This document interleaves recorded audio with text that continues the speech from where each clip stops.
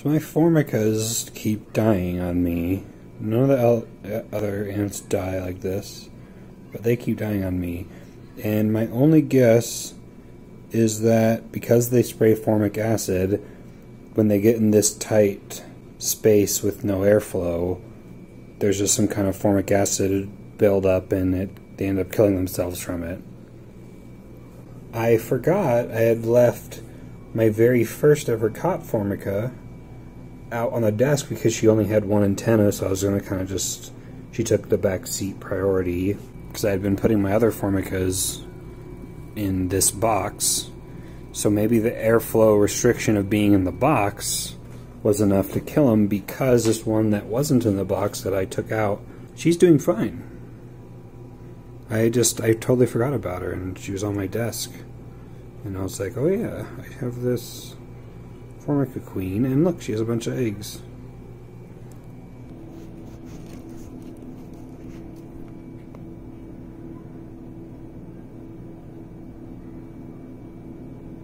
There's a good pile of eggs right there, actually. Light works. Some of them might even be pupa already. Or, um, larva? I'm not sure what the middle stage is. But yeah, there's a there's like one on top of that that looks more like a larva deal. Geez, my light is not staying on.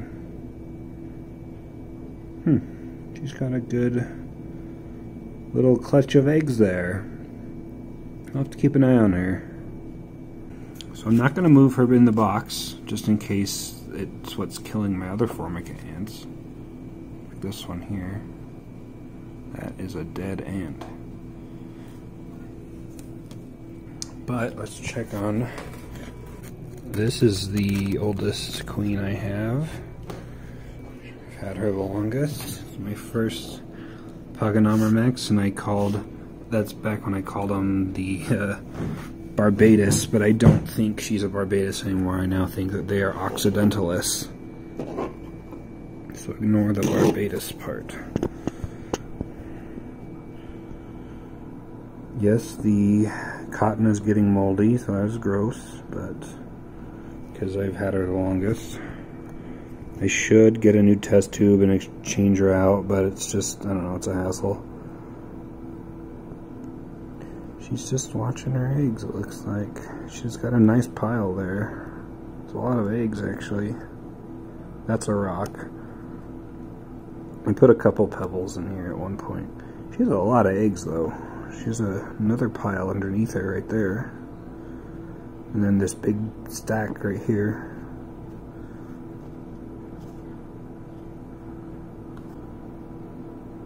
Oh, look at that sting. Is that her stinger?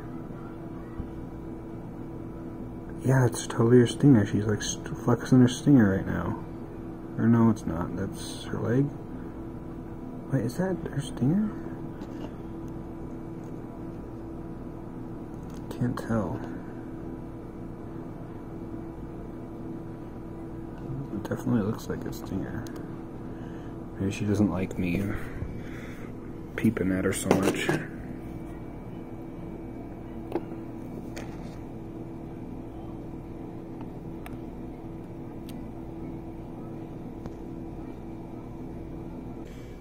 And then this is the Pogonomyrmex rugosus that I've had the longest. I also put a couple pebbles in there, so it might be difficult to tell which ones are eggs.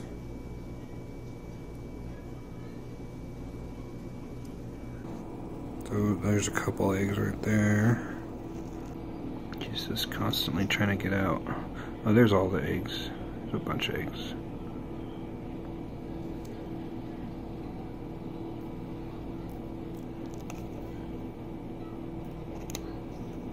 Then the last ant that I have that is one of the older ants I have is the crazy ant. And she has a lot of eggs scattered around too. It's interesting how some like to put them in a pile and some just kind of leave them scattered all over the place.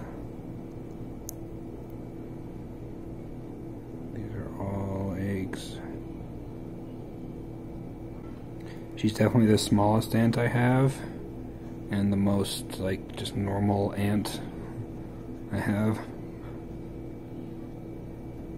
Typical little black ant you see.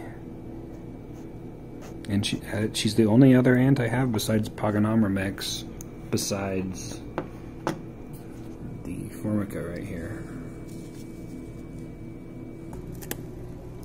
And of course, I got my 15 rugosus that I caught recently.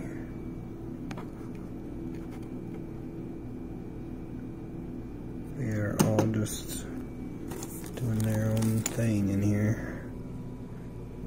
Those some eggs? Mm, yep, I see at least one right there. Sweet.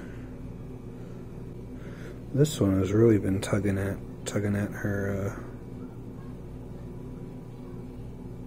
uh, cotton there. Don't see any signs of eggs. She's been too busy pulling her cotton to make any eggs.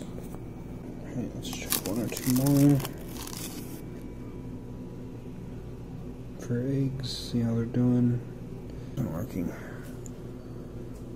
Is she just getting some water or something? Is this ant poop? What's all this black stuff in here? I guess she's just getting a drink.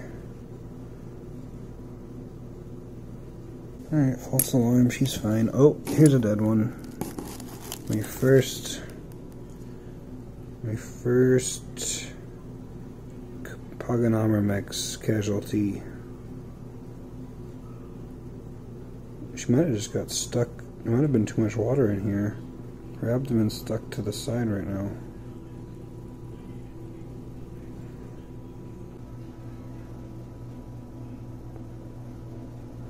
she even she even attached? It looks like she bit off her the connection yeah she totally did her abdomen was her gaster was stuck to the water it's my guess and to get free she tried to bite off her bite it off that's my guess. Huh. Yeah, look, she just disconnected. Well, I'm sorry. That is unfortunate. Rip. Anyone else having issues in here? It looks fine. It looks fine. This one has a really tight... I'm interested to see who does better. Like, look at the space in this one. It's very, very cramped but some people say they the more cramped the better. Look she even has some eggs in there. It looks like. Yep, some eggs right there. So she's doing all right. Sometimes the more space just makes them feel less secure, so the tighter, the more secure, the better. I guess now that I found a dead one, I need to check all these. Here's a Occidentalis again. She looks fine, and there's some eggs in there. Looks like everyone else is doing alright. Only four casualties. this is the third and fourth casualties here. Out of that many ants, I think we're doing doing alright for my first time. Well, thanks for watching, and make sure to subscribe for more updates on these guys and ant content. And I'll see you guys later.